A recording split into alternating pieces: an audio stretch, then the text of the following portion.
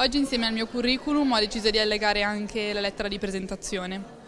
Non ho predisposto la lettera di presentazione, eh, ma mi hanno suggerito essere una cosa molto importante e che sia, molto, che sia necessario personalizzarla a seconda dell'azienda a cui ci si rivolge.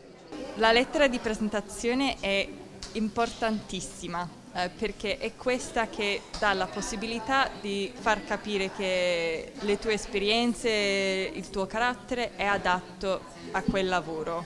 Il consiglio più utile che mi è stato dato è stato quello di adattare il mio curriculum per quanto possibile alle esigenze della, della determinata offerta di lavoro, quindi a seconda di quello che vogliono e di quello che cercano, di venderti nel miglior modo possibile, diciamo. L'errore più ricorrente del, del curriculum è che di solito la gente non va abbastanza nel dettaglio del lavoro specifico. Eh, di solito si manda forse un curriculum uguale a 100-200 aziende, ehm, quando in realtà è molto importante evidenziare le capacità che corrispondono alle esigenze di, di quell'azienda. Il suggerimento più interessante che mi è stato dato è il fatto di essere sintetica nelle informazioni.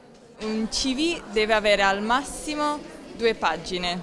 Uh, se si riesce a farlo in una pagina è ancora meglio, però al massimo due.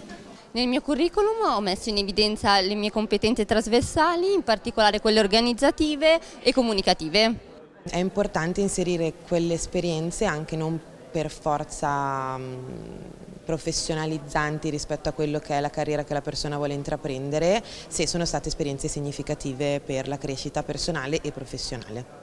Ho inserito una foto nel mio curriculum, ovviamente professionale, Inserire la foto nel CV non è obbligatorio a meno che non sia richiesto esplicitamente. Qualora si decide di inserirla, la foto deve comunicare un'immagine positiva di sé, la persona deve essere ripresa in primo piano, sorridente ed evitare pose e abbigliamento poco adeguato. Eh, nel caso in cui si decide di mh, consegnare il CV in un evento fieristico, come ad esempio un career day, è importante inserire la foto poiché permette al selezionatore di associare il CV alla persona che ha incontrato direttamente. Nel caso in cui eh, decidiate di eh, inviare il CV per una posizione all'estero, è importante verificare prima le regole di stesura del CV poiché non sempre la foto è gradita. È inoltre importante eh, verificare la pesantezza dell'immagine quando si invia il CV.